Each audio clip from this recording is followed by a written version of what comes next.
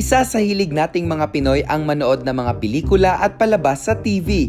Karamihan sa atin ay hindi patatalo pagdating sa pagsambit ng mga paborito nating linya galing sa mga ito. At dahil nagdiriwang tayo ngayon ng buwan ng wika, susubukan ng TFT Barkada kung paano nga ba sasabihin ang mga paboritong linya ng mga dayuhang pelikula.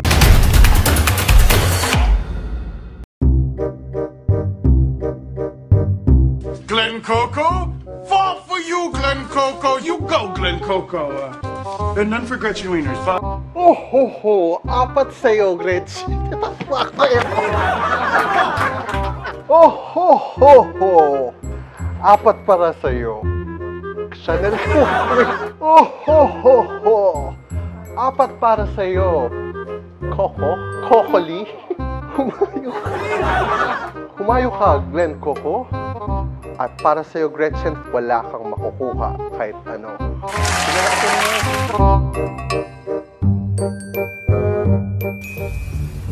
When you play the Game of Thrones, you win or you die.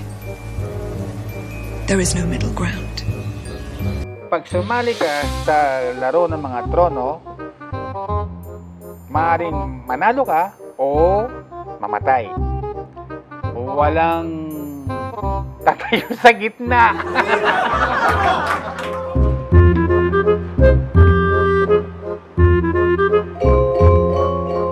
Kapag ikaw ay naglaro ng laro ng trono, mananalo ka o mamamatay ka. Wala kang pagpipilian.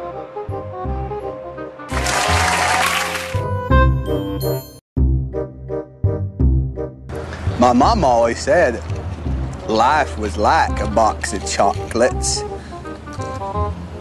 You never know what you're gonna get. Laging sinasabi ng nanay ko, ang buhay ay parang kahon ng tsokolate. Hindi mo alam kung ano ang makukuha mo. Ang sabi sa akin lagi ng mama ko, ang buhay parang kahon ng mga tsokolate. Hindi mo alam kung ano ang mabubunot.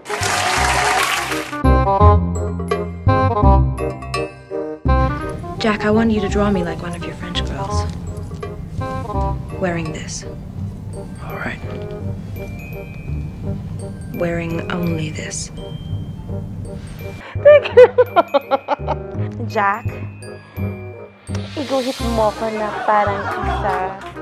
Iguhit mo ko na parang isa sa mga babae mo na taga France. Jack, iguhit mo ko tulad ng mga babae mo sa Pransya. Suot lamang nito. Ang nga, arte-arte mo dyan. Nga.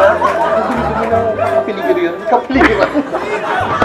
Ikaw ka TFT, ilan sa mga ito ang naitagalog mo? I-comment ang inyong pagsasalinwika ng mga sikat na linyang ito sa baba. Ako po si Dan on the go and this has been your favorite TFT Lifestyle TV.